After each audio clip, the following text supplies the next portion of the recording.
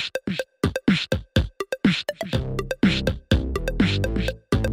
you.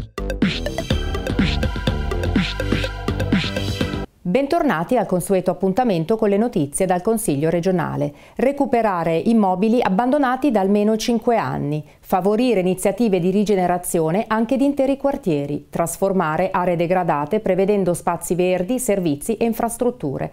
Sono tre contenuti della nuova legge approvata a maggioranza dal Consiglio regionale che ha l'obiettivo di migliorare la vivibilità urbana e rurale mettendo in campo incentivi per i privati che intendono rimettere a nuovo case ed edifici agricoli fatiscenti.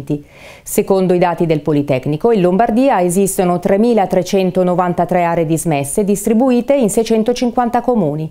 Quasi mille si trovano a Milano e provincia, seguita da Brescia e Mantova. 914 invece sono i siti da bonificare, quasi la metà dei quali nella città metropolitana di Milano e 188 solo nel capoluogo. Subito dopo Milano troviamo Varese e Bergamo. Ancora pochi giorni per visitare la mostra dedicata a Leonardo da Vinci e allestita allo spazio eventi di Palazzo Pirelli. Vediamo. È aperta fino a martedì 3 dicembre la mostra che il Consiglio regionale della Lombardia ha dedicato ai 500 anni dalla morte di Leonardo da Vinci.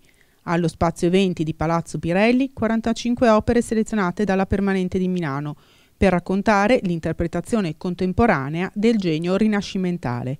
Pitture, sculture e opere che mischiano stili diversi, tutti accomunati dalla stessa passione creativa e dallo stesso amore per l'espressione artistica – perché, come ha sottolineato il presidente Fermi all'apertura della mostra, ingegno, capacità di creazione e immaginazione sono parte dell'ascito di Leonardo che continuano a dimorare nel DNA degli italiani. Un tributo alla grande mente del genio vinciano che non solo produsse invenzione, ma riuscì anche ad immaginare un mondo diverso, in un connubio perfetto tra uomo e macchine.